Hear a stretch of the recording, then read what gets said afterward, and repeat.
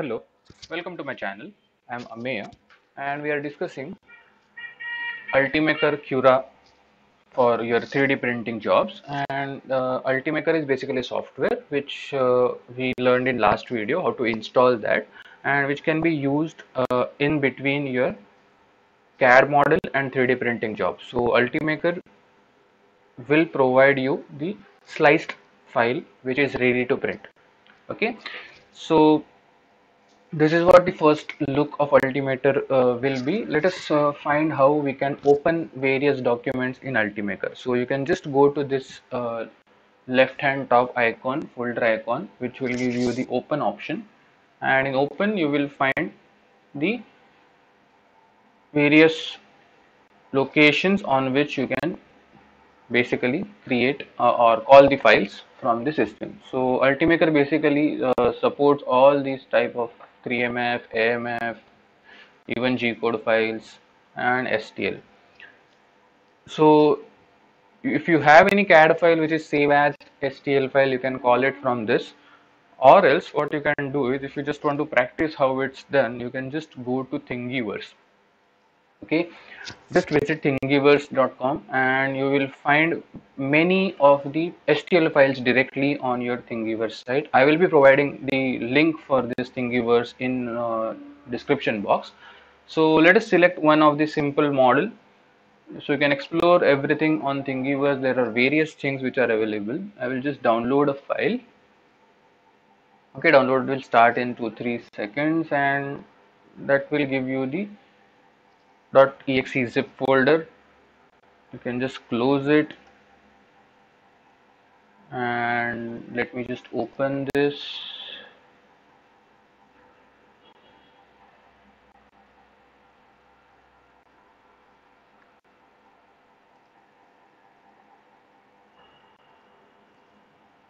And let me just take some files from this.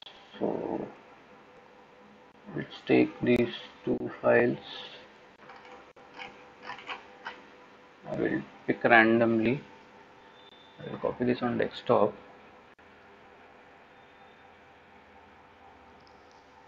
So let us make a folder on desktop. I already have a folder. Yeah so I have copied this and I will just click on this file and we will drag it into the Ultimaker okay? Same way what you can do is you can open a document you can access a folder and you can open a document whichever it is selected. Okay? So this is the file which we have called. Now the if you click on this the location of this file if you check it is by default perfectly at the center now this location will match with the actual location on your printer because we have selected the Ultimaker extended 2. So if it is at the center here, it will be printed at the perfect center of your actual printer. Okay.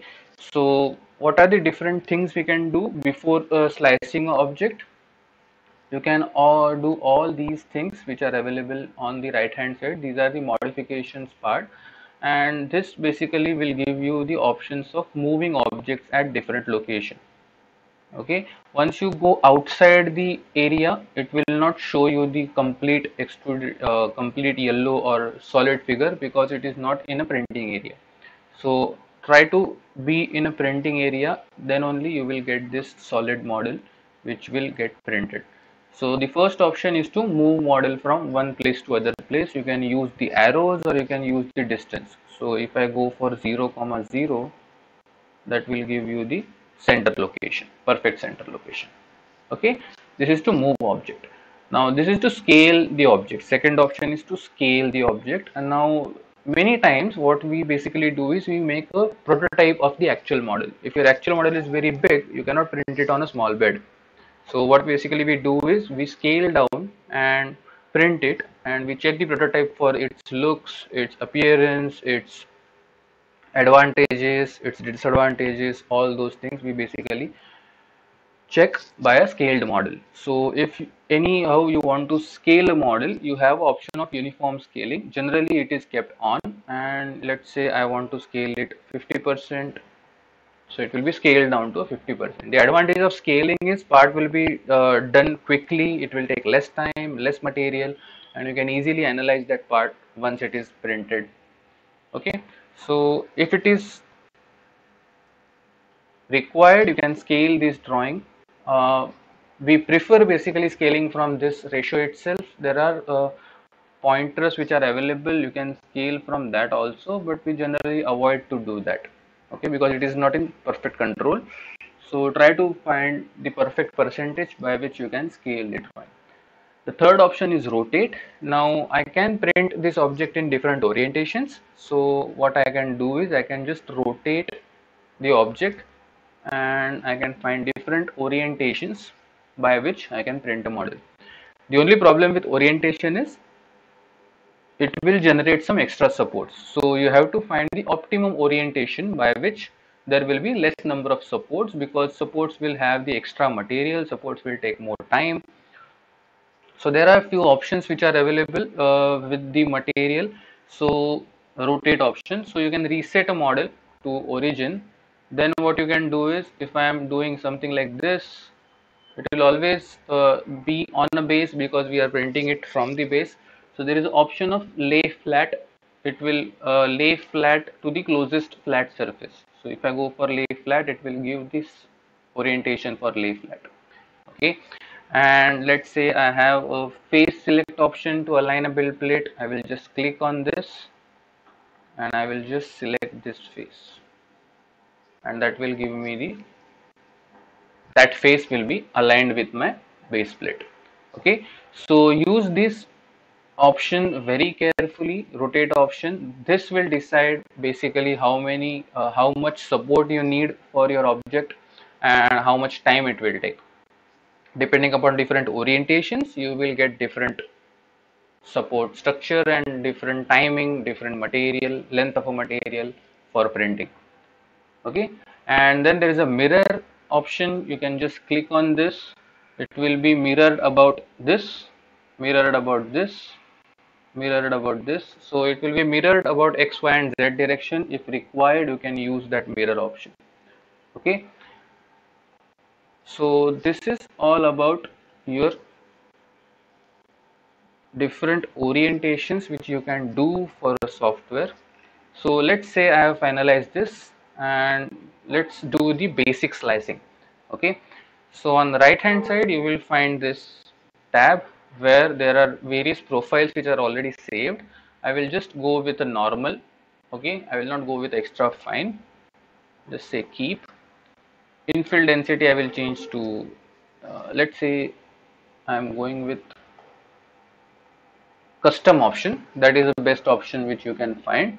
And uh, instead of gradual fill by default there will be 20% infill. Now right now I am not generating any support and I can just say slice. And yeah so it will show you how much length it is required material length it is required. So 1.23 meter of material it is required and you need to have 15 minutes to complete this model. Okay this is just a basic setting. We are not doing anything right now. So you can just go to preview and you can find various layers which are getting created in a model. Okay and then what you can do is once you are done with the preview you are done with the slicing you have done with the basic settings you can just go to save a file. If it is connected to your system uh, if your SD card is connected to system you can directly store it into a SD card. Or else what you can do is you can just save it on a desktop with a file called G code underscore one. That file will have an extension .g code and that will be ready to read from the printer. So you can save this file in, in a system. You can transfer it to SD card and directly print file on your Ultimaker printer. Okay? So the, in this video what we talked about is basically how to orient your model. Okay? How to move how to scale how to rotate how to mirror. Okay? And then very basic slicing and how much time it will take and how much material it will require okay? In the coming video what we will talk about is what are the different settings basic settings which are available so that you can customize those settings to get the proper print. Okay? So let us meet in next video. If you like this content do subscribe my channel follow my channel and do share a word about channel with your friends. Thank you for joining